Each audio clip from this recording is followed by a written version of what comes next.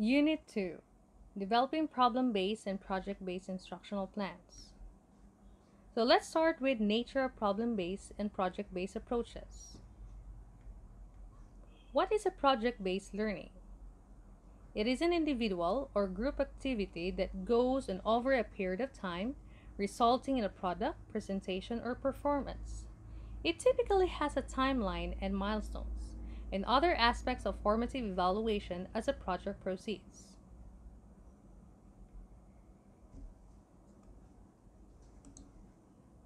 It is similar to process writing. So, in process writing, there are six steps. First is brainstorming, so you're sharing of ideas and opinions. Organizing the brainstorm ideas, this is collecting the ideas and try to organize it to make it more systematic. Developing a draft, by developing a draft, it helps you to visualize it. Obtaining a feedback, by obtaining a feedback, it helps to determine what needs to be improved. Then revising, which may involve going back to earlier steps if you see something wrong. Then lastly is publishing. Once everything is good and complete, that's the time that you need to publish it. Project-based learning is learner-centered. So it means that the student has the freedom to choose what content area or the nature of the project that they need that are planning to do. Why is it important and how they will be assessed because students are the one who sets a goal for their project. So these learner-centered characteristics of PBL or project-based learning contribute to learner motivation and active engagement since students are the one who choose and plan for the project. From student point of view, project-based learning is a learner centered and intrinsically motivating. You do it because it's enjoyable and interesting, rather than because as an outside incentive or pressure to do it. Students are included in the development of the assessment and have full understanding of the assessment. They learn to assess their own work. Encourages collaboration and cooperative learning. Because it's a group work, so you need to help each other, and as a group, you need to have a common goal for you to achieve it. Students learn to assess the work of their peers. They learn to provide constructive feedback to themselves and to their peers. Require students to produce product, presentation, or performance that becomes a component of a student's portfolio. Information technology may be used as one of the vehicles or components in the product, presentation, or performance. Allow students to make incremental and continual improvement in their product, presentation, or performance. This will help improve your project. A project is viewed as a process rather than as a product.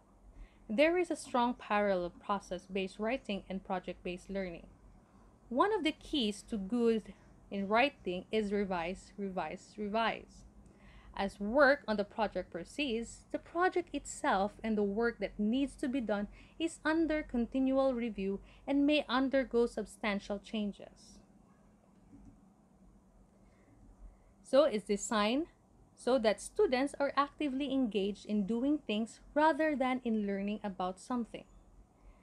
The average classroom noise level is much higher than in a traditional classroom because students often work in groups with conversations, movement, sharing, and helping each other being the norm.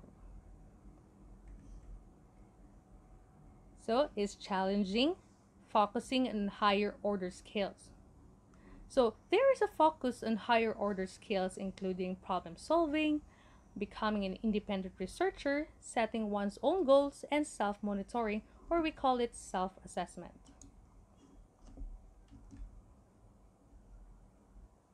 From teacher point of view, project-based learning has authentic and purpose. The content for the subject trends, uh, tends to be complex and authentic. You mean real world or similar to problem and task that adults address. Many projects focus on specific current problem, such as environmental or social problem, The purpose of, of the project is to help solve the problem. Such problems are complex and do not have simple solution. Uses authentic assessment. The overall assessment for students' work is authentic. Authentic assessment is sometimes called performance assessment, and it may include assessment of a student portfolio. In authentic assessment, students are expected to solve challenging problems and accomplish challenging tasks. So, a, ta- a student's product, presentation, or performance often becomes part of the student's portfolio. Teacher facilitated. The teacher acts as a facilitator and mentor, providing resources and to advise students as they pursue their investigations. However, the students collect and analyze the information, make discoveries, and report their results. The teacher is not the primary delivery system of information. Has explicit educational goals. The project is designed to facilitate learning. It is designed to help achieve the overall goals of education. It includes a focus on specific educational goals, often cutting across several disciplines. It's rooted in constructivism. The design of the curriculum, instruction, and assessment is rooted in constructivism. Constructivism is a theory about knowledge and learning based on the idea that individual learners construct their own knowledge, building on their current knowledge. Is designed so that the teacher will be a learner. The teacher is also a learner. The teacher and the students learn together, and the teacher role models being a lifelong learner. The teacher allocates time and to reflect on his or her learning. Teacher plays a major role in setting the learning goals of the project. And teacher and student provide formative evaluation. So when we when we say formative evaluation, that is sometimes referred to and as an internal. It is a method for judging the worth of a program while the program activities are forming, or we call it in progress. Teachers, students, and other may help in summative or final evaluation. So there should be collaboration in doing it. Then, rubrics created by a combination of teachers and students. So this facilitates self-evaluation, peer evaluation, evaluation by the teacher, evaluation by the outside experts. So again, they need to collaborate in creating the rubrics.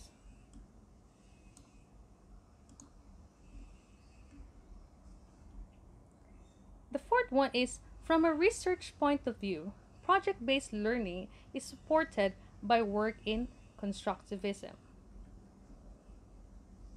First is situated learning theory. Situated learning theory holds that effective education requires learning that is embedded in authentic context of practice, wherein students engage in increasingly more complex tasks within social communities. When we say motivational theory, it is tasked with discovering what drives individuals to work towards a goal or outcome. Most motivational theories differentiate between intrinsic and extrinsic factors. Inquiry and discovery based learning. So, discovery learning is a technique of inquiry based learning and is considered as constructivist based approach to education. Discovery learning can occur when they when the student is not provided with an exact answer but rather than the materials in order to find the answer themselves. Cooperative learning. So, it is a process of breaking a classroom of students into small groups so they can discover a new concept together and help each other learn individual and co- a collaborative problem solving, the capacity of an individual to effectively engage in a process whereby two or more agents attempts to solve a problem by sharing the understanding and effort required to come to a solution and pooling their knowledge, skills, and effort to reach that solution.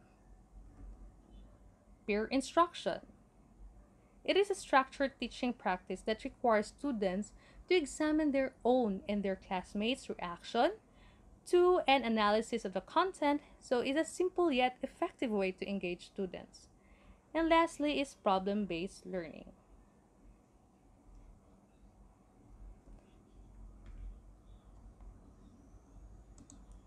So let's move on to problem-based learning, or we call it PBL.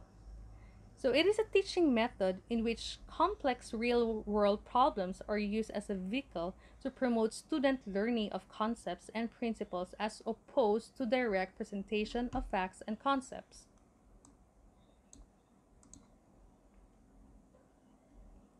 Any subject or any subject area can be adapted to PBL with a little creativity while the core problems will vary among disciplines. The problem must motivate students to seek out a deeper understanding of concepts because they're the one who will work on it.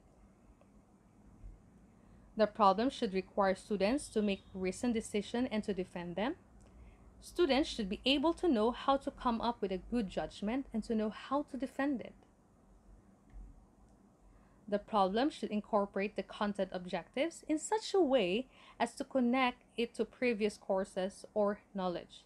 So it should be related. If used for a group project, the problem needs a level of complexity to ensure that the students must work together to solve it. So the five basic elements of cooperative learning should be applied. More complex problems will challenge students to go beyond. So if used for a multi-stage project, the initial steps of the problem should be open-ended and engaging to draw students into the problem. So, to, so this is to make it more organized and systematic. So the problems can come from a variety of sources like newspapers, magazines, journals, books, textbooks, and televisions or movies.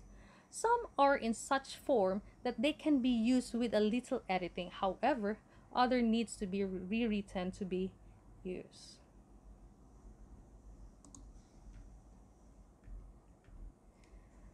The following guidelines from the power of problem-based learning.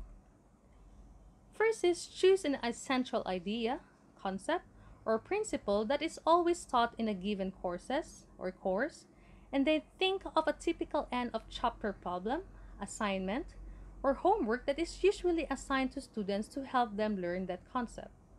So this is list or list the learning objectives that students should meet when they work through the problem. Second is think of a real world context for the concept under consideration. Develop a storytelling aspect to an end of chapter problem or research an actual case that can be adopted, adding some motivation for students to solve the problem. So look at magazines, newspapers, and articles for ideas on the storyline. Some PBL practitioners talk to professionals in the field searching for ideas of realistic applications of the concepts being taught. Then, the problem needs to be introduced in stages so that students will be able to identify learning issues that will lead them to research the target concepts. So the following are some questions that may help guide this process. What will the first page or stage look like? What open-ended question can be asked? What learning issues will be identified? How will the problem be structured? How long will be the problem be? Or how many class periods will it take to complete? Will students be given information in subsequent pages as they work through the problem? What resources will the students need? And what end product will the students produce at the completion of the problem.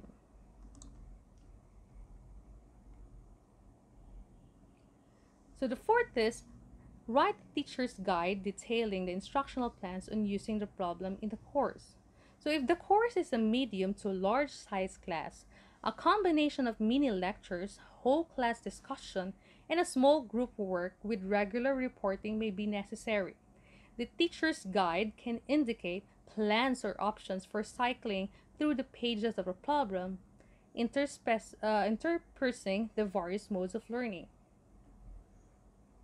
The final step is to identify key resources for students. Students need to learn to identify and utilize learning resources on their own. But it can be helpful if the instructor indicates a few good sources to get them started. Many students will want to limit their research to the internet, so it will be important to guide them toward the library as well. So the method of distributing a PBL problem falls under three closely related teaching techniques. We have case studies, role plays, and simulations. Case studies are presented to students in written form. Role plays have students improvise scenes based on character descriptions given. Today, simulations often involve computer based programs. Regardless of the technique is used, the heart of the method remains the same the real world problem.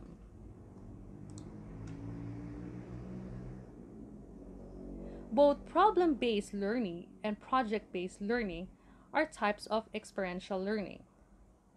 Problem based learning involves critical thinking to examine problems that lack a well defined answer. In project based learning, students are challenged to develop a plan and create a product or artifact that addresses the problem. Now let's proceed to project based multimedia learning. So, what is project based multimedia learning? It is an extension of a tried and proven teaching practice of project based learning. It extends this exact same concept by making the end product a multimedia or computer based presentation. Students might make a website or a PowerPoint presentation which includes irrelevant sounds, narrations, and images. A group of students might write a script, screenplay, act, shoot, and edit a video which relates to the project requirements. They might create an ebook that covers the subject matter studied in class to present to a younger class at school. When you produce a multimedia product, it engages students who normally tune out and the work they do tends to be more complex. Furthermore, sharing their final product with their peers, parents, and others instills pride. And the most important aspect is the presentations will include evidence that students have mastered concepts or process the teacher needs to teach. We have core curriculum, real world connection, extended time frame, student decision making, collaboration, assessment, and technology. What teacher promotes and develop when they apply project-based multimedia learning?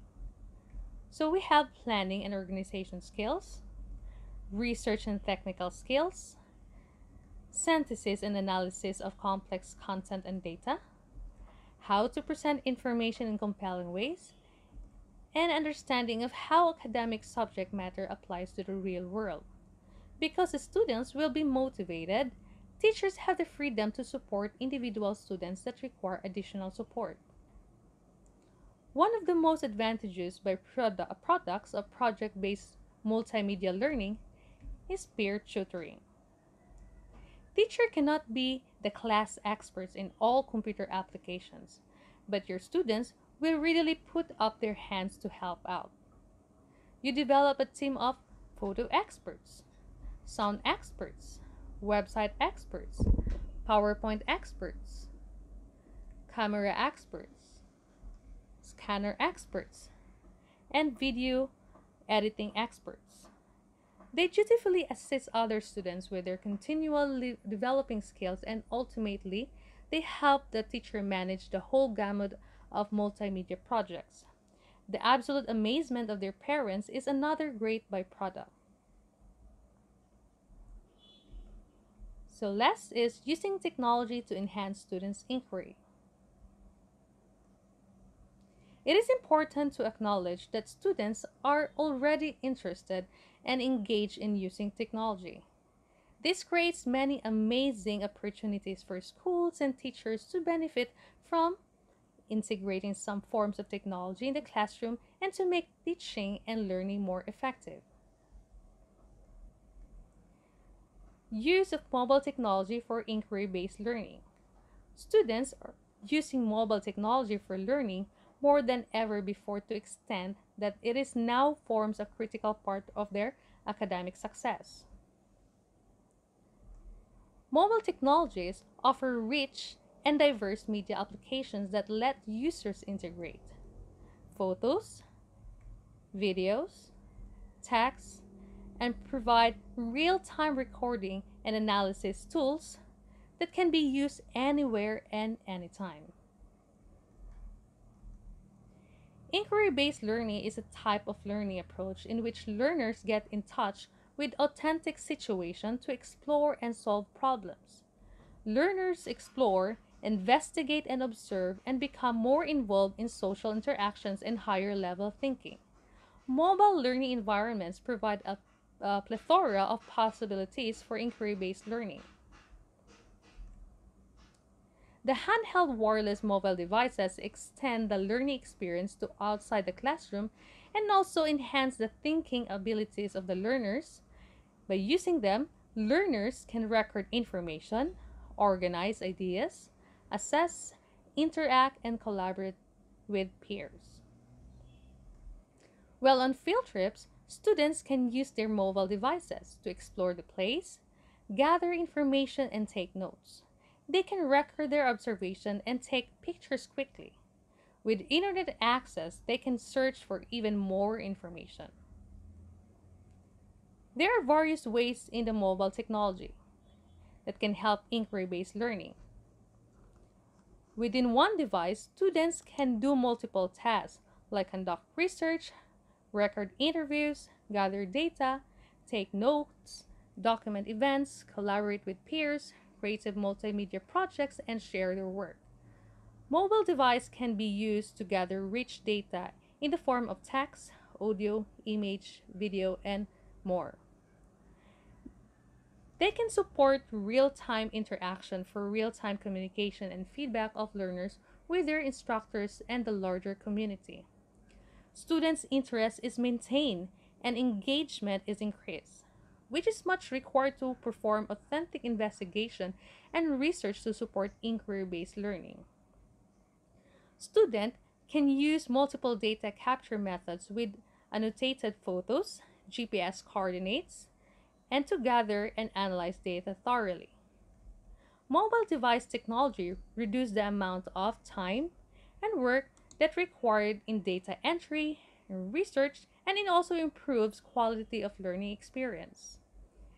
Having some personal devices makes students responsible for their own learning by designing their research projects from developing the question and method to data collection and analysis to presenting their research.